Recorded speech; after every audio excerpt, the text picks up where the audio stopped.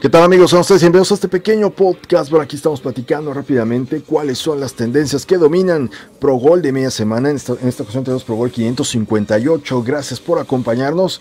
Y recuerda que en la descripción se encuentra nuestro código promo Dani Fútbol, donde te van a estar ganando 15 pesotes con nuestros amigos de tulotero.mx. Pero bueno, muchísima gente me preguntaba que por qué nos sacaba esta información. Hay que recordar que cuando Pronósticos fue hackeado, hubo muchos datos que ya no se actualizaron y este es uno de ellos. Pro Gol de media semana en pronósticos, hombre, dejó de actualizarse hace muchísimo tiempo. Entonces eso afectó muchísimo para llevar un histórico lo más preciso posible, ¿no? Pero bueno.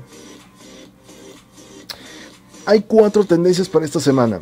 Tres de ellas han dominado en las últimas ocho semanas. Viene siendo el partido 3, tenemos una tendencia de local o visitante. Tenemos el tapatío frente a Celaya, vamos a señalarlo aquí. Esta tendencia ha dominado de Pro Gol 557 hasta Pro Gol 549.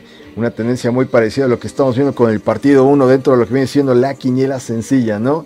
Increíble de momento lo que termina pasando. Por más que la gente de pronósticos a veces quiere tumbar esas tendencias, no lo terminan haciendo. Bueno, partido 4 se ha formado una tendencia para esta semana. Local empate.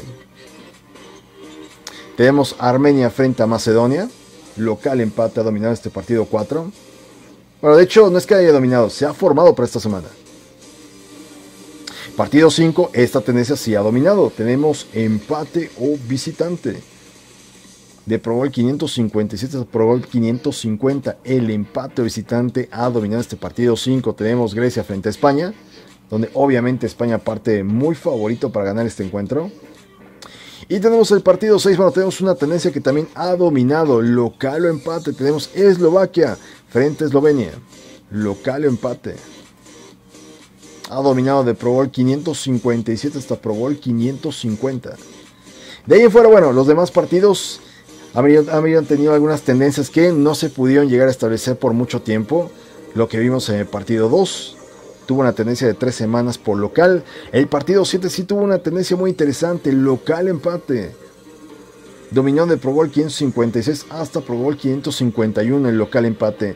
Los demás partidos, lo que viene siendo el partido 1, partido 8 y partido 9, ha variado muchísimo en las últimas semanas. Entonces, chicos, toda la información útil con respecto a lo que está pasando en las tendencias de Pro Bowl de media semana 558. Cuídense mucho, pásensela bastante bien. Hasta luego.